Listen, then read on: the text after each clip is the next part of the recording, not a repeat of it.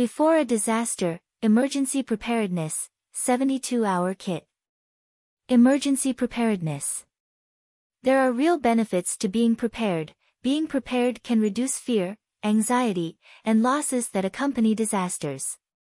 Communities, families, and individuals should know what to do in the event of a fire and where to seek shelter during a powerful storm.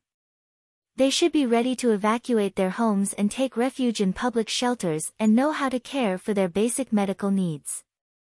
People also can reduce the impact of disasters, flood-proofing, elevating a home or moving a home out of harm's way, and securing items that could shake loose in an earthquake, and sometimes avoid the danger completely. The need to prepare is real, disasters disrupt hundreds of thousands of lives every year. Each disaster has lasting effects, both to people and property. If a disaster occurs in your community, local government and disaster relief organizations will try to help you, but you need to be ready as well. Local responders may not be able to reach you immediately, or they may need to focus their efforts elsewhere. You should know how to respond to severe weather or any disaster that could occur in your area, hurricanes, earthquakes, extreme cold, flooding, or terrorism. You should also be ready to be self-sufficient for at least three days. This may mean providing for your own shelter, first aid, food, water, and sanitation. Many large-scale disasters could impact the availability of resupply or inclement conditions could prevent people from traveling safely to a store. For that reason, we greatly encourage citizens to have a larger supply of food, water, and medicine. The 72-hour kit. There are many types of disasters and emergencies, fires, floods, earthquakes or man-made disasters. You and your family may need to survive on your own after an emergency. Having sufficient supplies such as food, water, medicine and emergency essentials is important. Local officials and relief workers will be on the scene after a disaster, but they cannot reach everyone immediately. You could get help in hours, or it might take days. It is estimated that after a major disaster, it may take up to three days for relief workers to reach some areas. Additionally, basic services such as electricity, gas, water, sewage treatment and telephones may be cut off for days or even a week, or longer. Your supplies kit should contain items to help you manage during these outages. At a minimum, all individuals and families should have a 72-hour kit, basic disaster supplies kit.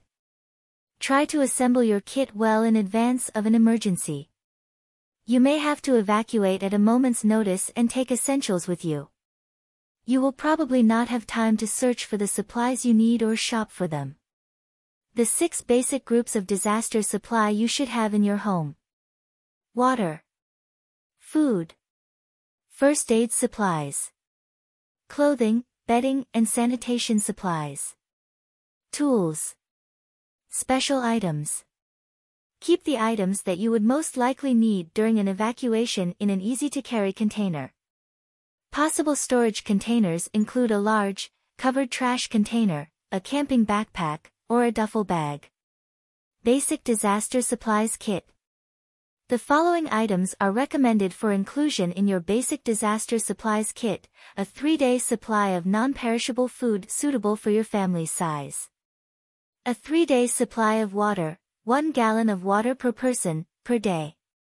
Portable, battery-powered radio or television and extra batteries. Flashlight and extra batteries. First aid kit and manual. Sanitation and hygiene items, moist towelettes and toilet paper. Matches and a waterproof container. Whistle. Extra clothing.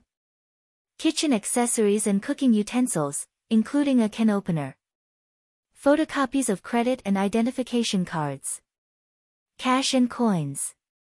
Special needs items, such as prescription medications, eyeglasses, contact lens. Solution, and hearing aid batteries. Items for infants, such as formula, diapers, bottles, and pacifiers. Other items to meet your unique family needs. Living in a colder climate as we do, you must think about warmth. It is possible that you will not have heat. think about your clothing and bedding supplies.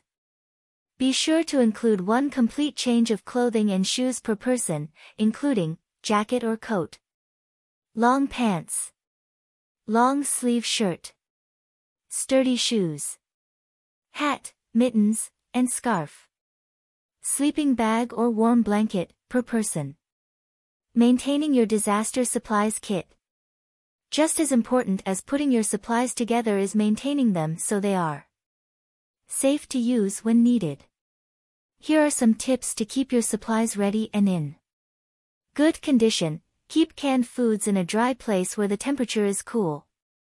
Store boxed food in tightly closed plastic or metal containers to protect from pests and to extend its shelf life. Throw out any canned goods that become swollen, dented, or corroded. Use foods before they go bad and replace them with fresh supplies. Place new items at the back of the storage area and older ones in the front. Change stored food and water supplies every six months. Be sure to write the date you store it on all containers.